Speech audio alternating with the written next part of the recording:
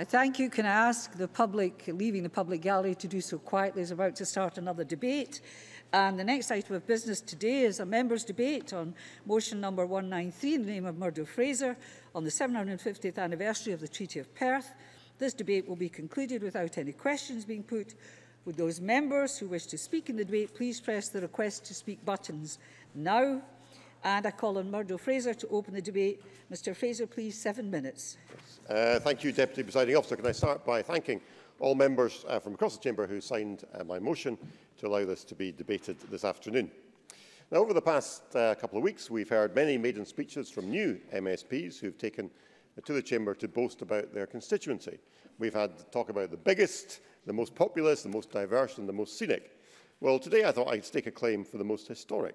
For from the Battle of Bannockburn to the Protestant Reformation, towns and cities across mid-Scotland and Fife have witnessed some of the most important events in Scottish history.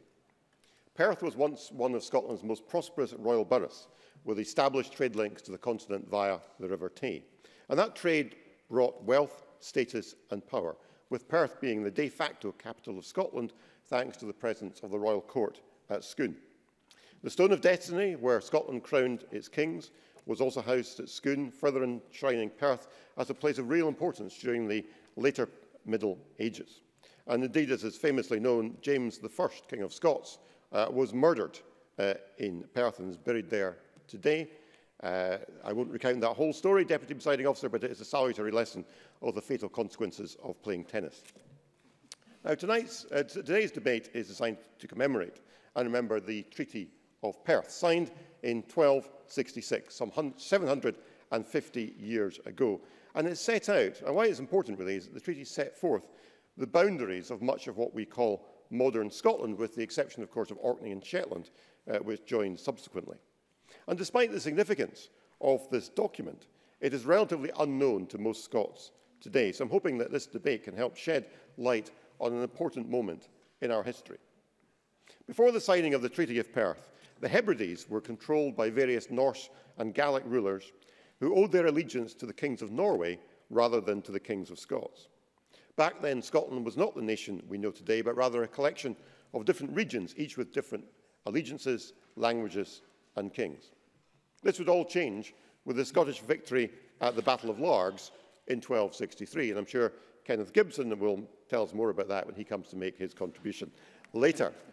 Victory over the Norwegians by the Scots ensured that the Western Isles and the Isle of Man would be Scotland's to control. The story goes that while King Alexander was banqueting in Perth for the Feast of St John, the Norwegian king, Magnus VI, travelled up the Tay to meet him, and the treaty was duly signed at Blackfriars Monastery on the 2nd of July. In return for a payment of 4,000 marks and a tribute of 100 marks annually, the Norwegians surrendered sovereignty over the Hebrides and the Isle of Man. In some ways, this was Scotland's very own Louisiana purchase. Although Scotland was still a country in its infancy, stereotypes surviving to this day might have been born from these very incidents. Our reputation for thriftiness was clear, as not only did the Norwegians have to wait several years for us to pay the full 4,000 marks, but they eventually stopped collecting the 100 mark annual tribute after we defaulted on paying the yearly dues. Perhaps in the current financial climate, it's better to gloss over the issue of Scotland defaulting on its debts. A copy of the treaty can be seen today in Perth Museum. The earliest surviving text is recorded in the Black Book and is on loan from the National Library. This special display and exhibition will also form part of the commemorative celebrations. And I would encourage all history buffs and Fair City residents to take a inner visit to the museum to learn more about a document that was so important to Scotland's early years. Now we've established that modern Scotland was forged in Perth. I think we should hear a bit more about what we are doing to commemorate this treaty 750 years on. Perth and Kinross Council have announced a number of special events. And this is important for a number of reasons. Visit Scotland's winning year strategy has shown the success of history in attracting tourists to Scotland. And I believe that Perth can benefit from this approach. In the past, Perth has often felt left behind when it comes to cashing in on its past. Whilst its neighbour to the west in Stirling enjoyed not only the Battle of Bannockburn reenactment celebrations, but also Armed Forces Day in 2014, Perth has been at the back of the queue when it comes to attracting high-profile events. I was therefore delighted to learn that the Royal Edinburgh Military Tattoo will be performing a mini tattoo in Perth on the 21st of August to commemorate the treaty. and the 600 performers at that event will be joined by the King's Guard of Norway, whose wonderfully choreographed marching routines are not only viral hits on YouTube, but have entertained tattoo crowds around the world for many years. And in addition to the tattoo, the Council is planning to host various medieval and Viking-themed events around the city on the same day. As well as these public events, there will be a private event marking the treaty at St John's Kirk, which will welcome guests from Perth's twin cities and the Honorary Consul of Norway. If I can digress just for a moment, Deputy Presiding Officer, this debate I think can serve another purpose, and that is to highlight Perth's unique history in the year it makes its bid to be UK City of Culture.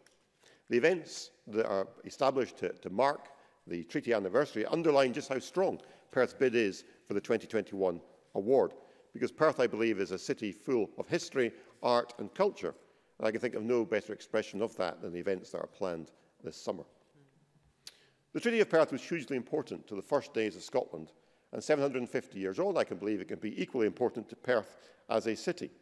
They can help foster closer ties between Perth and our Norwegian neighbours, and indeed our other twin cities around the world, and also illustrate the depth of history and culture present in Perth, which, as I've said, is particularly important as we look to secure City of Culture status.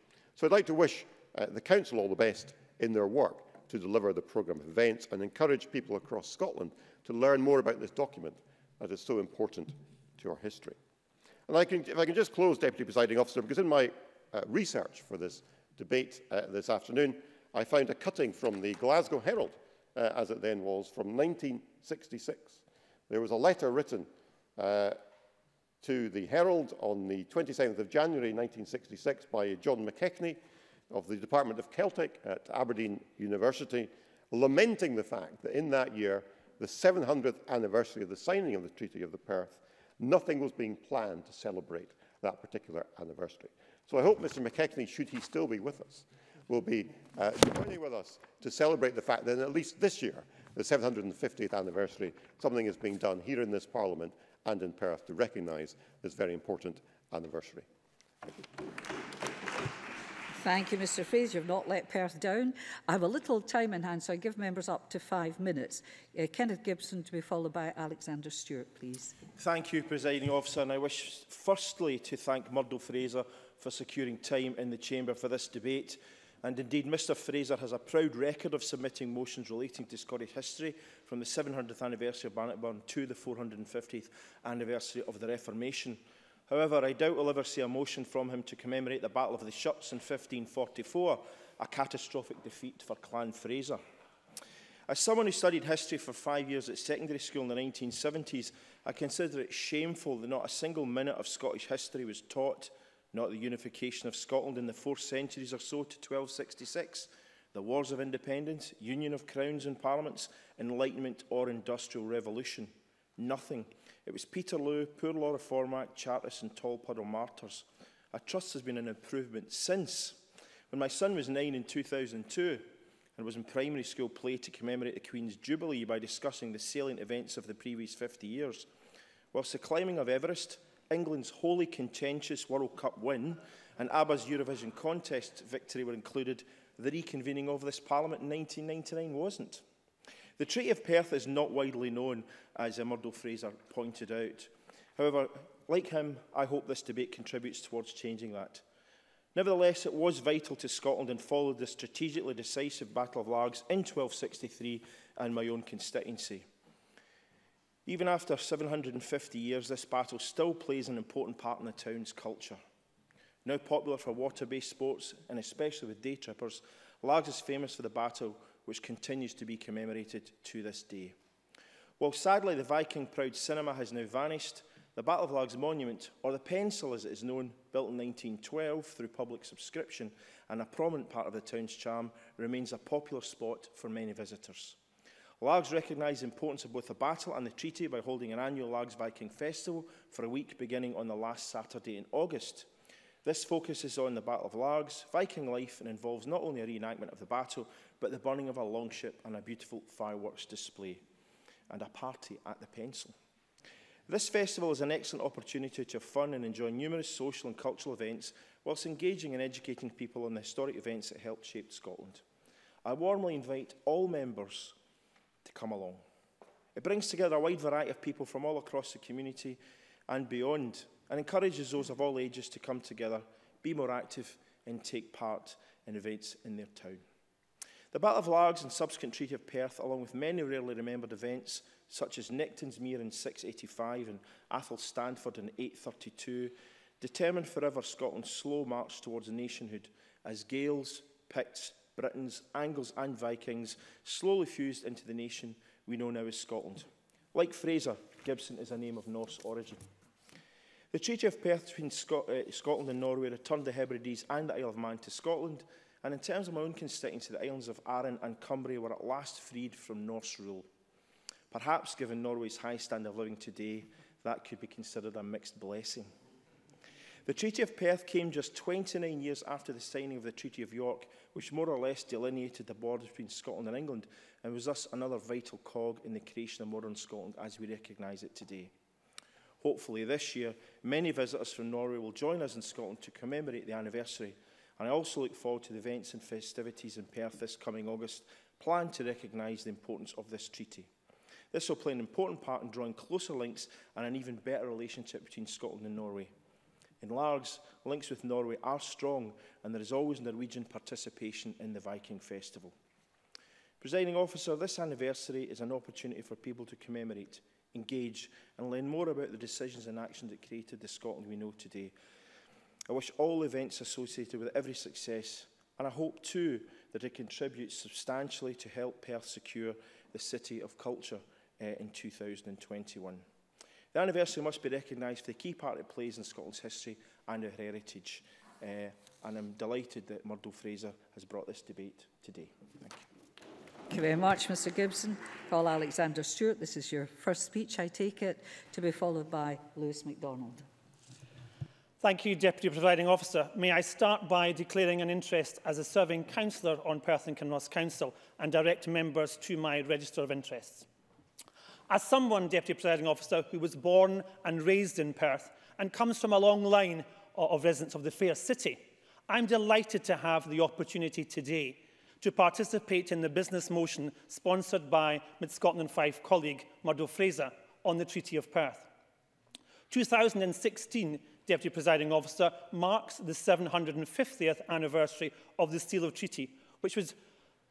signed in Blackfriars Monastery in July 1266.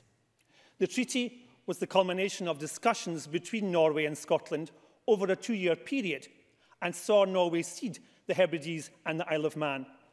And the Scottish Crowns took that on board, while confirming for the time being that Norwegian uh, sovereignty would be of Orkney and Shetland. And thus ended a conflict uh, between King Alexander III and his Norwegian counterpart, Magnus VI. The people of Perth are proud of their fair city had the opportunity to be involved in making sure that that momentous event uh, took place. And I'm delighted, Deputy Presiding Officer, uh, that Perth and Kinross Council have now taken part and will ensure that a number of events take place uh, during its celebrations. The people of Perth, Deputy Presiding Officer, have the opportunity to go and see an exhibition in Perth Museum and Art Gallery, which starts from the 7th of June and runs to the 28th of August. And a variation of cultural activities are being held in the museum during that period, to celebrate and inform of the history of what happened 750 years ago in our fair city. We are delighted to be welcoming the Royal Military Tattoo and they're going to have a miniature tattoo uh, taking place on the Sunday, the 21st of August. Over 600 individuals will participate in that. And that will be an, an enormous event uh, for the city. Uh, and I hope uh, that the weather is kind. And the Consul General will uh, attend that event. But in the spirit of uh, bilateral cooperation, uh, and which was exemplified by the Treaty of Perth, the mayors of our twin towns across the world uh, will also have the opportunity to participate uh, during this celebration. They will come from Aschaffensburg, Cognac, Bidkosh, Scoff, Perth, Ontario, and Haiku. And all of these uh, individuals will be there. And that will give an international flavour, a fantastic opportunity for us all to participate uh, in uh, the celebrations. And moreover, at the end of the it will culminate with a, a big dinner, which will be held in the historic St John's Kirk, uh, where individuals will enjoy traditional food and musical entertainment with a Scottish theme. So the Treaty of Perth marks the end of a sustained conflict that was brought about by centuries of battles between various nations. But the whole point of that was set aside for the opportunity for the theme of a reconciliation. And to that end, Perth will also have a great opportunity and privilege to host the highly anticipated Weeping Window Poppy display, which drawed immense crowds uh, when it was first installed in the Tower of London. Uh, and that is coming to Perth, and that will be a great opportunity. The event itself will be at the award-winning Black Watch Museum at Bilhousie Castle. So, presiding officer, the Treaty of Perth has played a very important part in the stories of both Perth and the stories of Scotland. And I'm glad that we will have the opportunity to mark this anniversary in this chamber today. And I hope that many people will take the opportunity to visit the fair city during the celebrations. Perth has a fantastic past. Its present is a bit uncertain, but it has to have a future. And events of this nature will give it the impetus, will give us the opportunity for that to take place.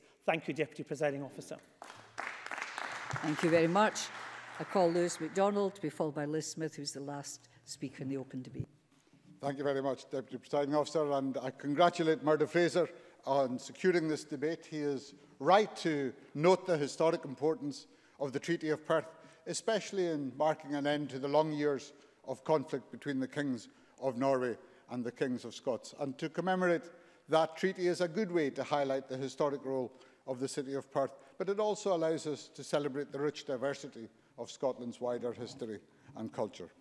A treaty agreed at Perth is a reminder that power in the early years of the Scottish kingdom was dispersed, it was not concentrated. Momentous decisions were as likely to be taken on the banks of the Tay uh, as within sight of the Forth. And the mighty castles of Edinburgh and Stirling are recognised the world over. But it's important, I think, to celebrate other places of equal significance for their role in Scotland's rich history. Dunottar on the northeast coast is an ancient and splendid place which looks and feels like the stronghold it once was. Dumbarton Castle on the Clyde celebrated a thousand years of its history uh, as, at the Rock of Ages event only last weekend.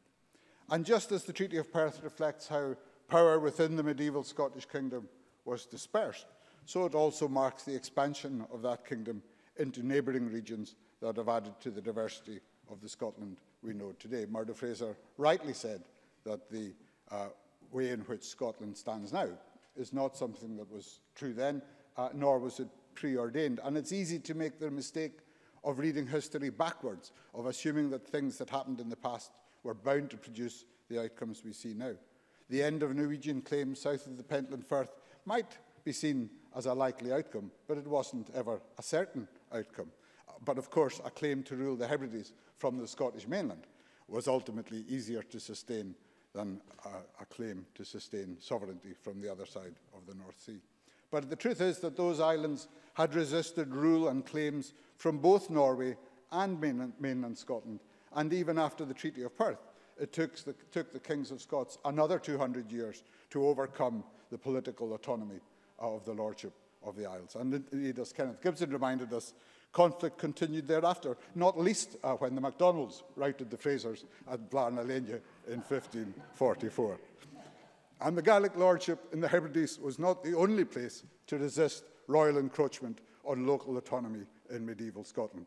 Galloway, too, was a Gaelic lordship with a Norse heritage and able to look across the Irish Sea for allies in opposing Scottish royal power. And the lands bordering the Murray Firth produced their own claimants to the Scottish crown, most famously Macbeth, and when they lost that dynastic struggle, they, they fought for centuries to maintain local autonomy. And as Murdo Fraser reminded us, Orkney and Shetland remained subject to the Norwegian then the Danish crown for several generations after the Treaty of Perth, while the borderlands between Scotland and England were contested over those same generations. So for all these reasons, the early history of Scotland is about a lot more than simply the development of the Scottish state or the growth of the Scottish nation.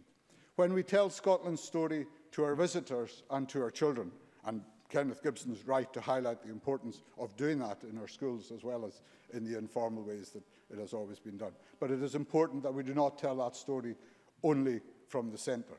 The Treaty of Perth, for example, it does mark the addition of the Hebrides and for a while the Isle of Man to the Scottish kingdom. But it's also a chapter in the histories of those, all of those islands, which the minister, of course, will know, uh, and which are worth telling in their own right.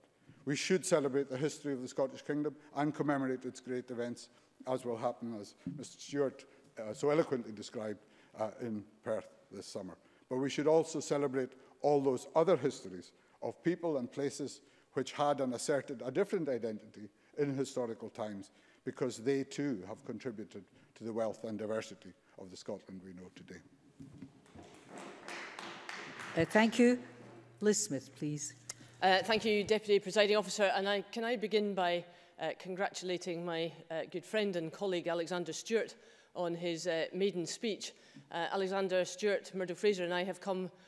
a very long political journey over many years, not quite uh, 750 years, but nonetheless a long political journey in Persia. And it is just so good in light of our much better results in the recent election that Alexander has been elected to this place. And I'm sure he will be a great credit to this parliament. Could I also uh, congratulate Murdo Fraser on bringing this uh, issue uh, to the chamber? And uh, to say I was a little relieved when he read out the letter that was in the Herald from the Department of Celtic, because when I saw it first on his desk, I thought it was a communication from Celtic Football Club, and that might have been a rather different issue. But I think when it comes to uh, this debate, as I was uh, looking uh, through the research on uh, this whole uh, topic, I was very struck by uh, the complex tapestry, tapestry of the orange origins of uh, Scotland. And as a uh, reference that Lewis MacDonald made uh, too, that the Scotland that was taking shape in the 13th century really existed in a very embryonic form, and that uh, shape has changed uh, so many times uh, in the centuries since. And I think one of the things that we have to recognise uh, in Scotland and be immensely proud of um, is that tapestry that Murdo Fraser has described and the way that we have fashioned our culture, our uh, social network, our economy, uh, round all of that.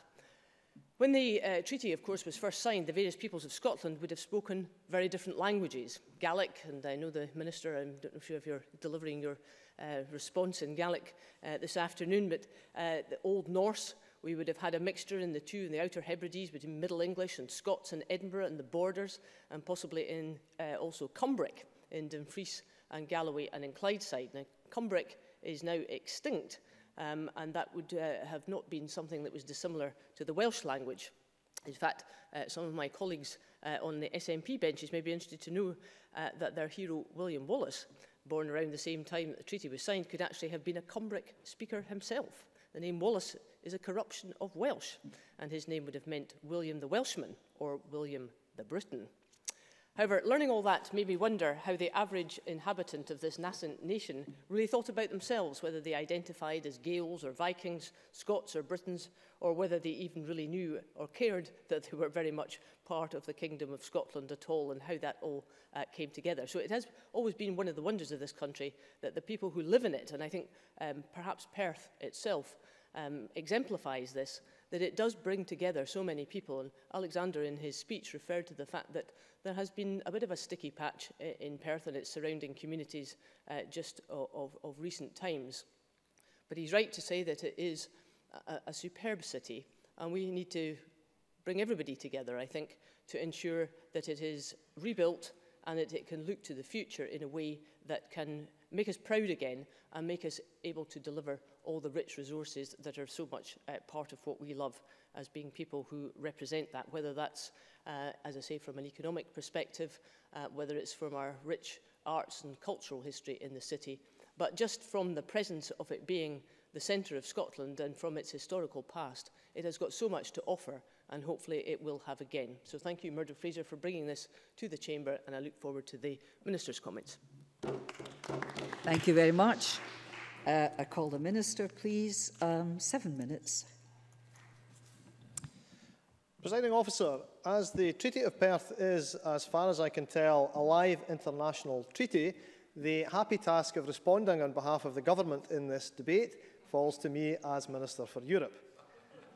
I refer to my entry in the Register of Interests as a member of the Norwegian Scottish Association.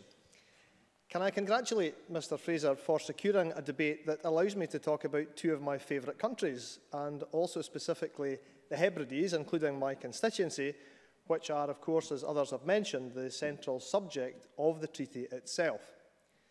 Inshagall, one of the Gaelic names for the Western Isles, means the Isles of the Strangers and refers to the fact that the strangers, in this context a euphemism for Vikings, had exerted political control over the islands until the treaty that we're discussing today.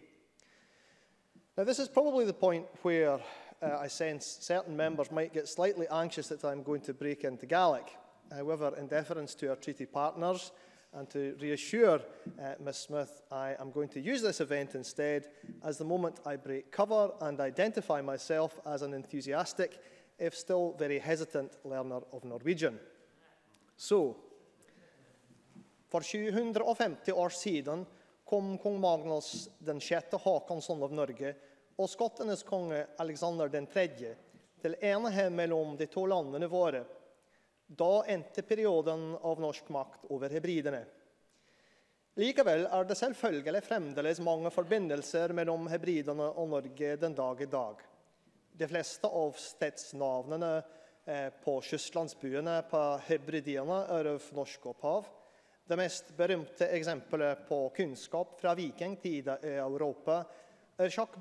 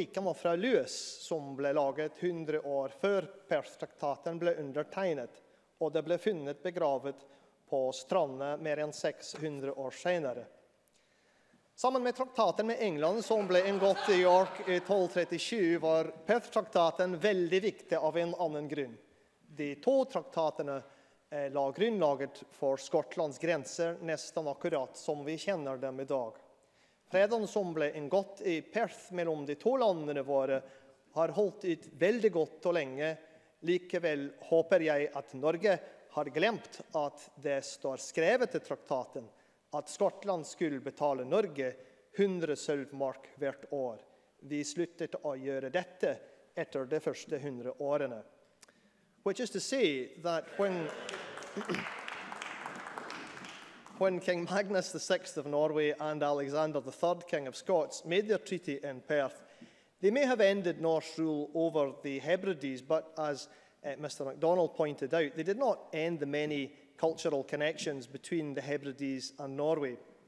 These are most obviously exemplified in the island's Norse place names and in the famous Lewis chessmen. The national importance of the treaty especially when taken together with the 1237 Treaty of York, uh, is significant. And as Mr Fraser and others have pointed out, these two treaties essentially do create the borders uh, of Scotland uh, that we know today, even if it is to be hoped, as others have alluded to, that Norway has forgotten that Scotland has long stopped paying them the 100 marks a year that the treaty does require. But it is perhaps also... Yes. Mr Gibson, that, in, uh, in, Norwegian, the, please. The, the, obli the, obligation to pay the 100 merks per year was actually cancelled following a marriage agreement with the, king of, the daughter of the King of Denmark uh, some five centuries ago. The member is, of course, right, and I was only joking, but uh, uh it nonetheless, it nonetheless uh, does point to uh, some of what's in the treaty, and as a member, alludes to some of what has changed since then. It's also worth reflecting briefly on the, the human dimension though, of the treaty, and let me uh, mention that the treaty specifically uh, does uh, in, ensure that, uh, quote, in the, the said islands under the dominion of the said Lord, the King of Scotland, uh, if they wish to remain, uh, they, the Norwegians, may stay in the land freely and in peace, and if they wish to leave, they may depart with their goods freely and in complete peace. This exemplary foresight did much to guarantee the peaceful coexistence between the two people, and we are, I hope, still seeing uh, the deep friendship between Scotland and Norway today uh, as Scotland pursues the cooperation with Nordic countries uh, as part of our Nordic-Baltic policy statement. Now, in, in addition to the uh, events mentioned by Mr Stewart, uh, I very much welcome the academic conference taking place in Perth on the 27th and 28th of August, which is being jointly organised by the Scottish Society for Northern Studies and Perth Natural History Society.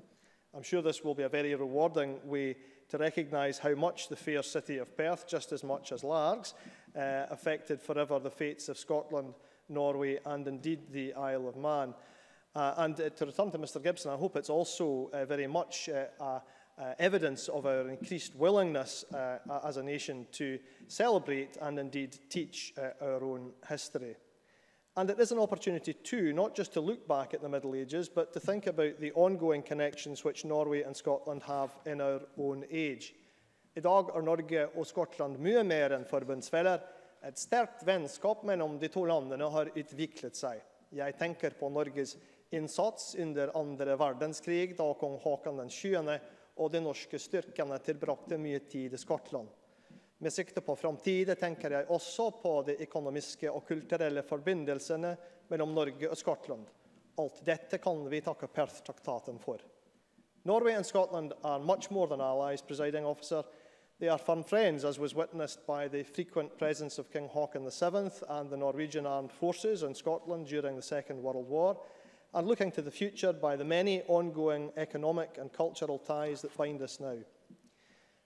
I leave it to others to work out when Norwegian, beyond the word ombudsman, was last spoken in this Parliament, presiding officer, but hopefully it is not an act as politically charged as it might have been a few centuries ago.